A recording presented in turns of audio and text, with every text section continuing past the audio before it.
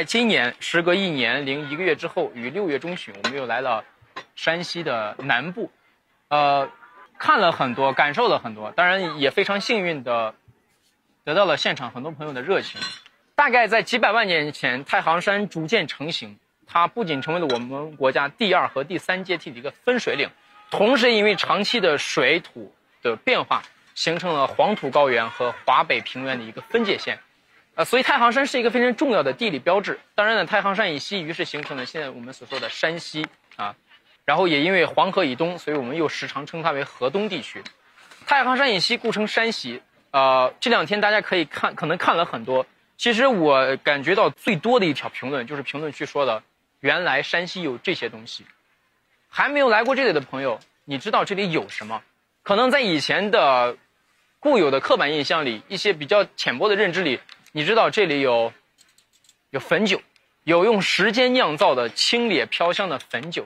你知道这里有醋，有用岁月催化之后回味无穷的陈醋。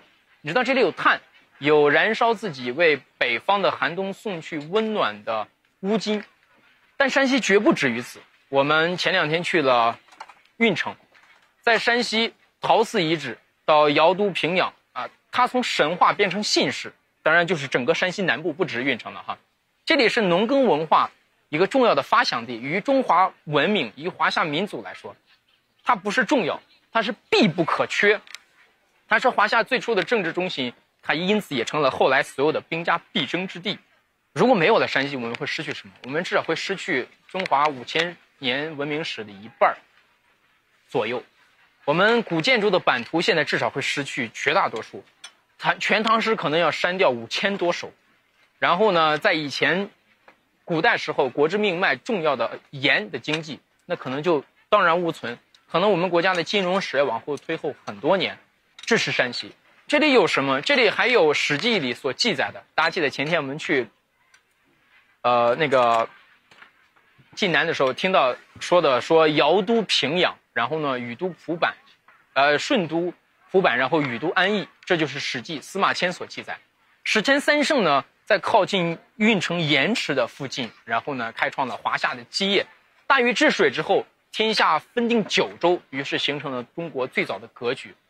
在这里还有什么？在这里还有宏大的、瑰丽的上古神话传说，比如大家听到很多大禹治水的龙门山，比如有伏羲画像画挂的这个啊人人祖山，再比如有。啊，尧舜禅让的这个尧王台等等，这些山岳啊，他们彼此连接起来，其实就是先民的一部奋斗史。然后这些画面再连接起来，就成了中华精神和人文的一个最初样貌形成的过程。在山西还有什么？在这里有国内可以说是一个极限词，可以说是最完整的礼制啊封建制度体系中，大家都听过社稷啊，分阴后土庙。然后，当然还有呃，祭王山庙这里，在这里还有中国比较完整的，或者是最完整的，呃，祖庙体系，比如它有炎黄蚩尤，有尧舜禹，有汤，啊，等等这些的灵庙。当然，在这里还有国，就现在中国呃存在的最早的国家祠堂，就是太原晋祠，这个是在去年时候大家就已经见过了。除了这些之外呢，比如它现在还有中国保存最大的这个。呃，国家太庙就是大同的华严寺啊，这个我们去年来的时候，其实刚才之前有多次提到过。然后同时在山西呢，大家还有什么？还能看到，呃，在华人世界里头最大的武庙就是亥州的关帝庙，在这里还有此刻我们身后的全国最大的县级的礼制建筑群，而且是完整的，就是平遥古城。当然它是县级的，它如果说市级，那可能西安的城墙线还还会更大一些。以及呢，在这里还有遍布全省的很多的孔庙、家祀、牌坊，啊，琉璃瓦、琉璃塔啊，雕塑和绘画等等。这里险峻的地势见证了历史上那么多的分分合合的沧海变化，然后风起云涌，然后呢，才子佳人的故事。呃，三家分晋，韩、赵、魏，然后联合抗晋，瓜分了疆域。从此呢，我们就从春秋到了战国。所以，在中国封建史上。在中国，大秦建立统一帝国之前，最重要的一个变化就是从这里开始的。这里后来还有过秦灭赵的这个长平之战，啊，然后秦用计让廉颇呢代替了赵括，啊，让让那个廉颇被免，然后赵括代将，然后呢，他就成了中国历史上的一次重要转折。当然，在这里大同呢，大家以前还还给大家讲过，就是汉刘邦啊，刘邦的那个白登之围，他被匈奴困了七天七夜，然后从此之后开始了六十多年的和亲，然后，呃，我们就于是有了黄老学，无为而治。到了明景之治，经过一段休养生息之后，然后也是在武帝时期，马邑之谋也是从山西朔州开始了第一次的对草原民族的反击，啊，当然再往后呢。汉之后就是唐，那盛唐时候，我们都羡慕于长安的繁华，但长安的繁华是从这里开始的，因为从晋阳起兵开始，李渊就直指长安，他的目标肯定不是当一时的枭雄，他是要当这天下的大主，所以后来呢，就有了李唐王朝所有的浪漫的故事。当然，再到了后来北宋的时候，这里还有北宋抗金的一个太原之战，那山西的战略重要性呢，其实是毋庸赘述的，呃。山西如果失守，那我们后来就很快会看到靖康之难，啊，以及北宋王朝的灭亡。所以这里是兵家必争之地。我们刚讲的这里是文明发起之地，接下来它是兵家必争之地，这都说明了它在文明上的地势重要性。但不止如此啊，重要的地方会培养出深厚的人文，所以这里还有文明厚重带来的一种洗礼。比如说大家在这里非常熟悉的介子推啊，他割骨奉君，把腿上的肉割了给重耳去吃。所以后来大家知道有了寒食节，我们刚才提到的介休，还有呃父秦，然后提出远交近攻，然后最终让秦一统天下的啊范雎，就是在那天我们去的那个芮城，啊就是隔了黄河那边就是潼关了。当然在这里大家还听过赵氏孤儿的这个故事，甚至也看过赵氏孤儿的电影，他调停了晋楚的争霸，促成了一次会盟啊弭兵会盟。然后呢这里还培养出了非常优秀的。年轻的勇敢的将领，他留名青史，啊，卫青和他的侄子和他的外甥霍去病两人各带五万，啊骑兵，然后深入漠北，大败匈奴之后，从此我们的疆土就张开碧叶，然后经营西域，稳固长安，必经营河西，啊，然后要经营河西，就最终能够控制西域，所以中国的版图在那刻得到了一个巨大的延伸，然后要感谢这两位天降的神兵，他们来自山西。当然，除了这些武将之外，这里还有非常多的文人墨客。比如我们提到的，啊，他既是武将，又后来成为一个一一个非常重要的我们的信仰中的其中重要一环，就是刚才提到的来自运城亥州的关二爷啊，武圣关二爷，也有来自呃山西祁县的师佛王维。刚才给大家背过了“大漠孤烟直，长河落日圆”。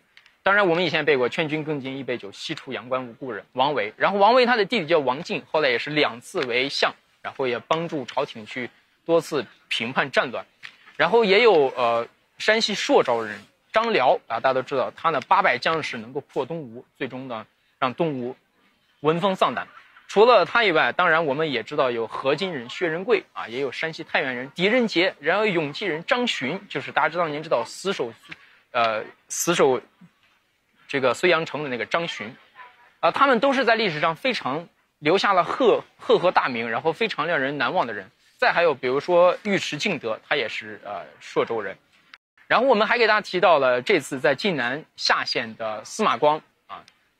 自古以来，史官的地位都非常重要，所以今天下午在跟贾导提到的史官的时候，司马迁是史官。那司马迁之后，东汉对吧？姓班的啊，班固、班昭，他们也是非常重要的史官。再到了宋，那就是司马光了。北宋的司马光。写一部《资治通鉴》可以名垂千古，然后呢，文学史因此不朽。那他也是来自山西，所以这片土地不仅是战略重地，不仅是呃兵家必争之地，它更是啊文人荟萃，然后呢武将如过江之青之地。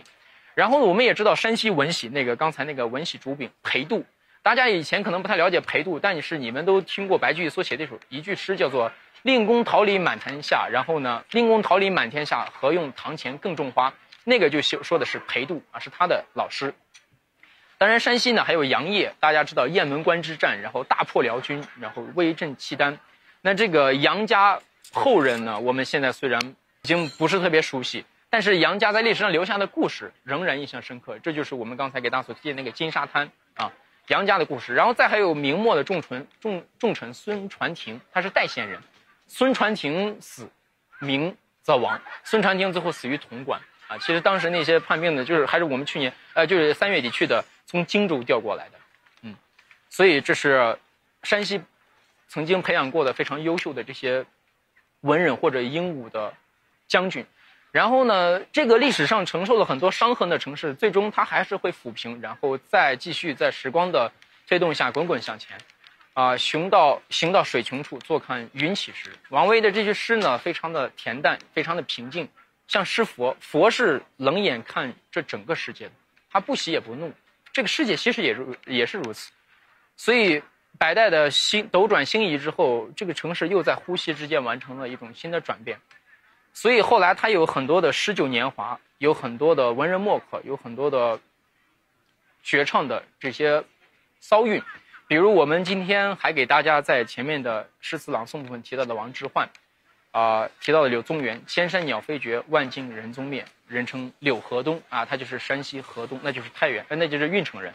然后再还有“欲穷千里目，更上一层楼”的王之涣，还有“劝君一更尽一杯酒，西出阳关无故人”的啊王维。然后我们刚才提到的这呃呃对，然后再还有“但使龙城飞将在，不教胡马度阴山”的王昌龄。这是刚才我们提到的这些。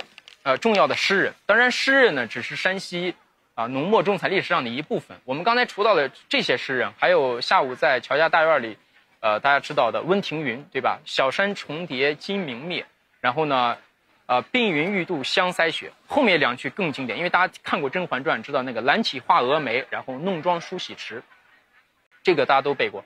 然后再往后还有呃元好问，还有王勃，再还有我们昨天提到的。呃，元曲四大家，其中两个都来自于这里，所以不管是从唐的诗，还是到后面的宋词元曲，这里都诞生过非常重要的人，啊，包括我们刚才提到的，还有到明清小说的时候，这里也是重要的文学的不可忽略的一个部分。比如说我们昨天提到的《窦娥冤》，关汉卿写的《窦娥冤》，对吧？然后罗贯中啊，四大名著，这全部都是在中华文学史上留下了。赫赫大名的人，也是给中国文学史翻开新一页的人。他们在一直推动。你说，直到现在，哪个年男孩年轻的时候不看三国？男孩对于忠、对于义、对于个人价值、对于忍辱负重、对于青史留名，好像很多关于大义、关于自我、关于成长的理解，小的时候都来自于这个经典的作品。呃，除了这些之外，我们这两天还看了山西太多的山水啊，智者要山。仁者要山，智者要水。呃，山西的山水呢，一静一动，然后呢，一呼一吸。我们第一天去看的运城啊，后来去看的临汾，然后再看的今天是在晋中。呃，不一样的地方有不一样的风光。山西的古建筑是这两天的一个主基调。它的古建筑从北魏开始，其实一直到最近的民国，包括今天我们去那个寺，它其实最早应该是始建于东汉哈。那当然呢，后来有重修这个。更主要的其实是后来明代的这些泥塑了，呃，北魏时期的云冈石窟，这个是去年去过的。然后羊头山的石窟，那唐代的有三个寺，佛光寺，还有南禅寺，再还有这个呃天台庵，这个其实是在晋南了。然后还有北宋的崇明寺啊，再还有辽代的这个大同华严寺啊，元代的元代的青梦观，以及明清时期的大量建筑。很多山西小孩长大的印象中，村里一个戏台或者随便的。呃，一个庙，它都可能是明清时期的，所以山西呢，数以万计的这些文物一直流传到现在，有一百八十二项呃国家非物质文化遗产，然后一千多项省级非物质文化遗产，然后在整个山西的壁画大概有两万七千多平，这大概是四个标准足球场的大小，然后在这个基础上呢，呃，这个数量当然是在全国。呃，绝对的遥遥领先，它占比了百分之七十以上。然后从唐到五代到宋到辽到金到元到明到清都有。然后山西的国宝单位一共有四百多处，其中呢古建筑就是三百六十九处。但是这里头的国宝第一是就是那天给大家所提到的运城，所以文物地上文物看山西绝不是一句空话。然后呢，现在山西一共有存两万八千多处古代建筑啊，基本上百分之七十五都是宋辽金以前的木构建筑。